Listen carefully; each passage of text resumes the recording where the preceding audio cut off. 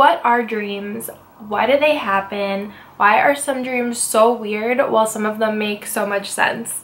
And what is going on with our mind while we're sleeping? Are we actually visiting other dimensions that could exist in real life, but we're just visiting there in a sleep state? These are the kind of questions that are constantly running through my mind. so I just wanted to make this video to kind of share my experiences with dreams, how I've got myself to start remembering my dreams more, and how I started lucid dreaming. I would definitely say the number one thing to do if you're trying to create more vivid dreams and to remember your dreams more often is to keep a dream journal. Um, I have this one. It's a Slytherin one. But you don't even need an actual journal. You can use just your phone, your notes app. It's super easy. Um, studies show within, after the first five minutes you wake up, you already forget 50% of your dream. So it's super important to do it the second you open your eyes. Just start jotting down everything you can remember. And I swear you're just gonna start, once you get in that habit, you're gonna start having longer dreams, more vivid dreams, and every night. It really does work. And this is great because you'll notice that your dreams start turning into literal movies, which is really helpful because you can break down each detail that happens in the dream and you can research what each situation means, especially, and then relate it to your life and see maybe what kind of messages are coming through. I like to keep my journal next to my bed, um, but honestly, I try to alternate between the two not on purpose, but sometimes I'm just too tired to grab the journal, look for a pen and start writing down. Sometimes it's just so much easier to just grab your phone and just start writing everything in the notes app.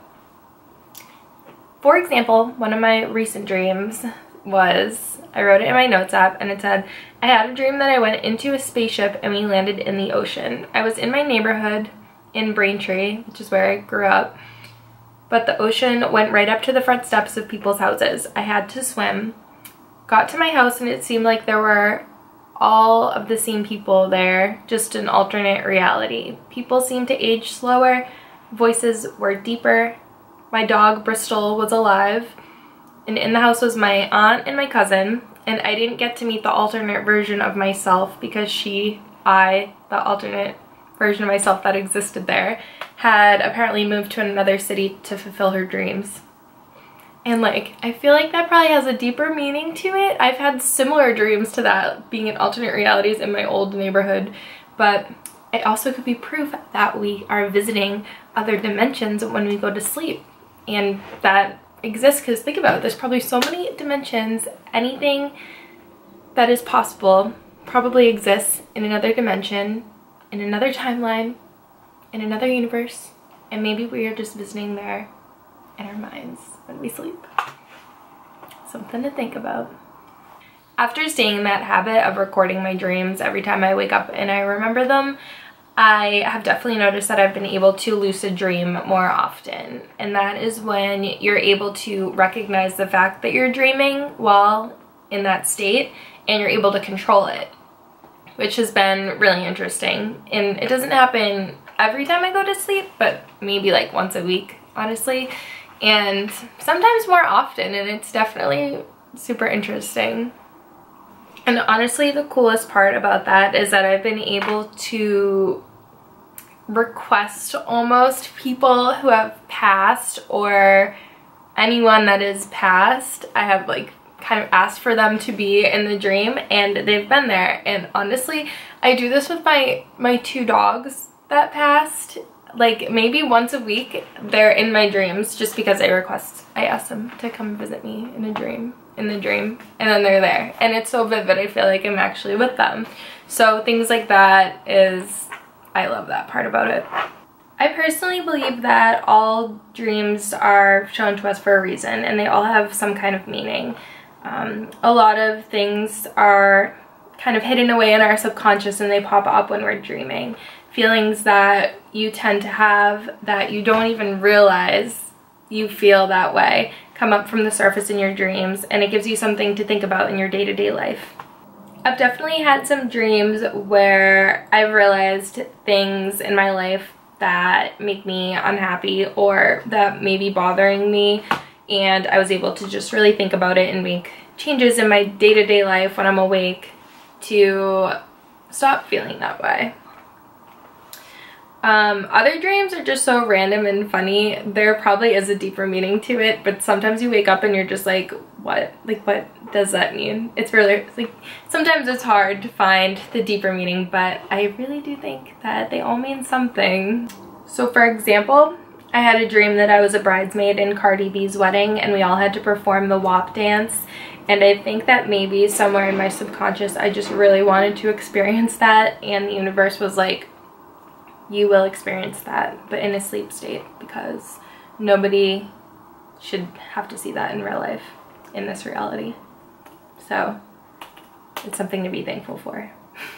So I definitely have a lot of crazy dreams that seem to make no sense, but then I have a lot that seem to have a lot of meaning. Like for example, if you've seen the OA, when she has her NDEs, like whenever she dies, she goes to this like dark room like it's like a galaxy and there's like this being there well I've had multiple dreams where I was in that like an area like that and there was a being there. Like not the same one I couldn't really tell. But I feel like there was a way I, I just felt like I was in an actual alternate reality. But yeah nothing ever happened with it. I always think maybe that was like about where I'm about to be able to astral project. But unfortunately I haven't been able to reach that point of my dream work yet. Hopefully in the future but that's what I think it was or something I really think it was some kind of alternate reality and it happened on more than one occasion and that was just and I was able to get there just by recording my dreams all the time I was able to go into those deeper states of dreaming so I think it definitely changes everything also, if you have astral projected, please share your experiences in the comments because I love hearing stories about it. I just hope that I get to experience it one day. I'm gonna keep trying. And it might seem a lot like, like tedious to write down everything every morning, but it's normal to not do it every morning. Like I would be lying if I say that I actually do it every morning. There is periods of time where I do and that's when I experience the dreams that I'm talking about. But there's definitely like some weeks where I'm just like not not doing it.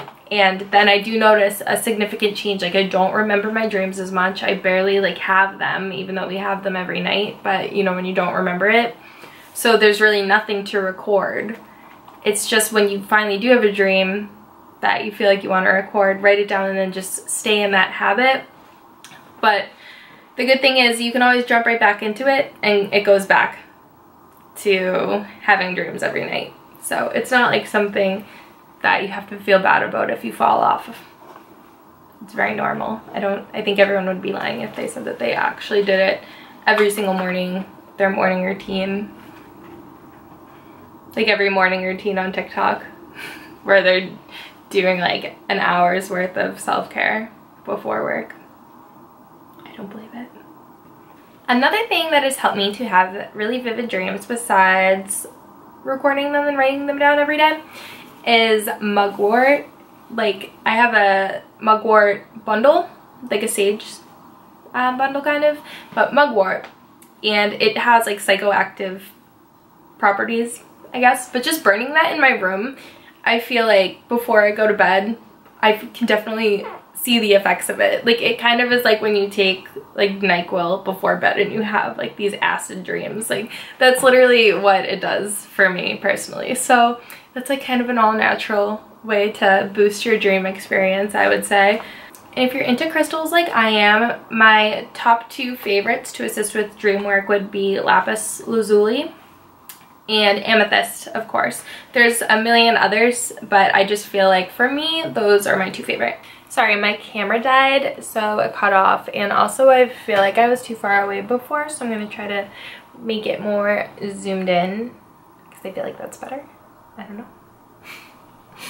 But what I was saying is there, I think what also helps um, to get into that deeper dream state would be to not use so much technology right before bed. Like don't be on your phone watching YouTube, TikTok, all that right before you go to sleep or don't be playing video games like up until the moment that you fall asleep. You should definitely try to separate, put some space in that window between using technology and then going to sleep. Um, instead, you could focus on some intentions that you want for your dream or what kind of messages you are trying to get out of your dreams. Set that intention before bed and you're gonna see better results. For example, if I'm looking for clarity on something, I'll set the intention and I'll ask the universe to provide me clarity on this subject in my dream. And sometimes you notice that it actually, whatever you dream of, actually does relate to what you asked for. And it's pretty interesting, but it does happen a lot. And then just always make sure that you're getting enough sleep. I know for me, I need like seven to eight hours to really feel well rested and I know everyone's different so you just do what's best for your body.